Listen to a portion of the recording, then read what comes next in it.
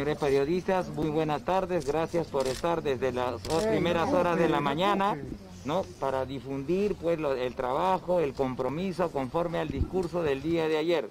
Todo el accionar policial contra la delincuencia común y sobre todo el crimen organizado con el cual tengo una humilde experiencia de haber desarticulado más de 200, perdón, 100 organizaciones criminales. En esta oportunidad, bueno, se ha verificado y ya, se ha, venido la, representante del Ministerio Público y se, puede confirmar la existencia de un túnel, ¿no? Con el destino de Penal Castro, eh, Penal Castro Castro. Aproximadamente he recorrido todo el túnel, es aproximadamente 180 metros 180 metros de longitud.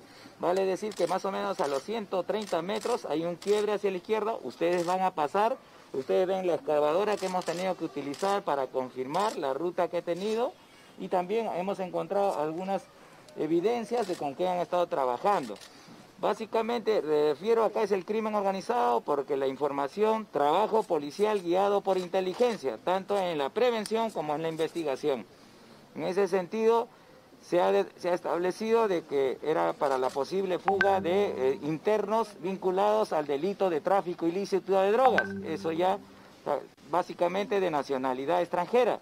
Esta vivienda fue alquilada aproximadamente hace según las versiones que ya hemos eh, recogido, ¿no? por el brillante trabajo de la Dirección de Investigación Criminal a través de sus dos grandes unidades, Inteligencia contra el Crimen y la Dirección de Criminalidad Organizada. ¿no? E internacional. Entonces, en ese sentido se ha recogido la versión de algunos aledaños y habría sido adquirido alquilado por un ciudadano de nacionalidad colombiana. Como le digo, eso va a ser ya materia de la investigación, ¿no?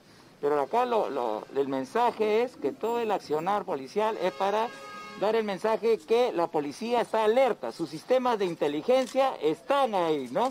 Y no vamos a permitir y vamos a impedir o neutralizar el avance del crimen organizado en el Perú. O sea, tenemos una mil de experiencia de que ya ha habido una fuga del penal Castro Castro, ustedes saben el caso de Polay Campos, el delincuente terrorista, y también internacionalmente, bueno, de un narcotraficante, este, Chapo, ¿no?, de México. Entonces, en este caso habrían financiado también internos de nacionalidad extranjera hasta determinada parte del penal Castro Castro. Realmente cuando ustedes revisen van a ver un punto de quiebre en el sentido de que gira, porque hay una gran roca que al parecer no han podido. Ahora, detenidos hasta el momento no los hay, eso es indudable, la información obtenida bajo ese trabajo, pero de inmediato, como ustedes ven, la reacción de la policía fue constituirme al lugar, ¿no? Con todo el comando operativo a cargo del general, y ya hemos comprobado que hay. Entonces, informo a la opinión pública que la Policía Nacional está trabajando permanentemente. Los órganos de inteligencia están alertando de cualquier hecho que tenga vinculación con el delito.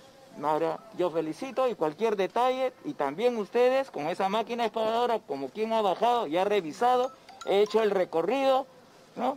Demuestro el trabajo, el compromiso de asumir el gran cargo de comandante general de la policía y estoy acá acá y así estaré en toda intervención policial. Resultados y honestidad. Ese es el mensaje. La ciudadanía necesita de una policía proactiva, conforme lo he señalado en mi mensaje. Y todos, todos mis oficiales y señores suboficiales agradezco ese trabajo y los exhorto a seguirme como líder de la institución.